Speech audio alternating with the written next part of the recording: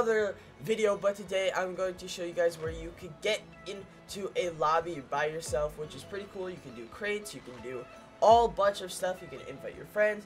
But guys, the only downside is that you're going to need two accounts, alright guys, and two controllers. You're going to need your main account and some other account, and then uh, two controllers.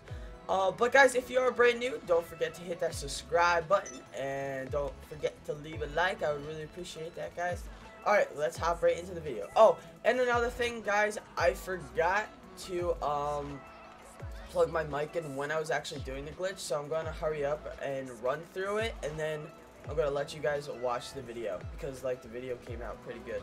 Um, so, the first thing you're going to need alright, is an underground bunker. I don't know if this works without an underground bunker because you do need to buy crates, but if there's another way you can buy crates without the underground bunker, great. Start doing it and you can make yourself money. So, the first thing you're going to need is go on GTA Online. Then, you're going to need to join your own CEO. Then once you do that, hop into your chair and then go buy crates. And then once you buy crates, it's all a rush game. Like you have to rush or it's not going to work.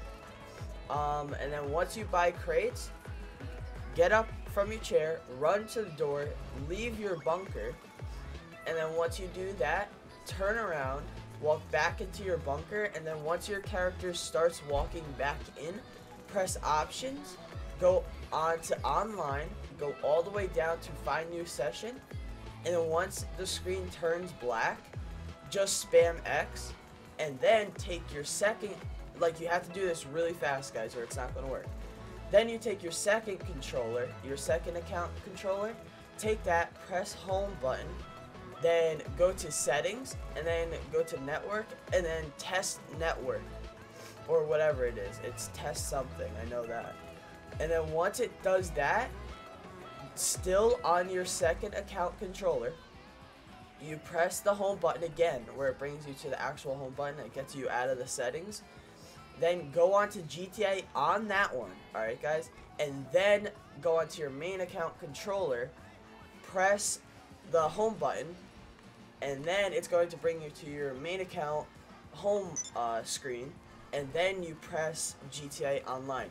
And then a little error will pop up your network it has been errored or something like that. And then you just press continue and then it is going to put you into story mode. And then you're done guys. You're done rushing. You don't have to rush anymore. You're all good.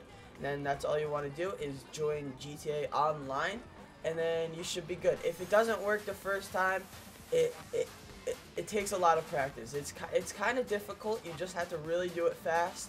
Um but yeah guys hopefully you enjoyed the video. I'm going to show the uh, actual video of me doing it in a little bit. But yeah, guys, hit that subscribe button, hit that like button, and comment down below if you want me to do any other cool glitches for you guys. But uh, yeah, or find any little glitches. I can find glitches where you can just do it solo, like where you don't need a second account.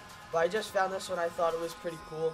Uh, but yeah, that's pretty much it, guys. Hopefully you're having a fantastic day, and I'll talk to you guys all next video. Peace!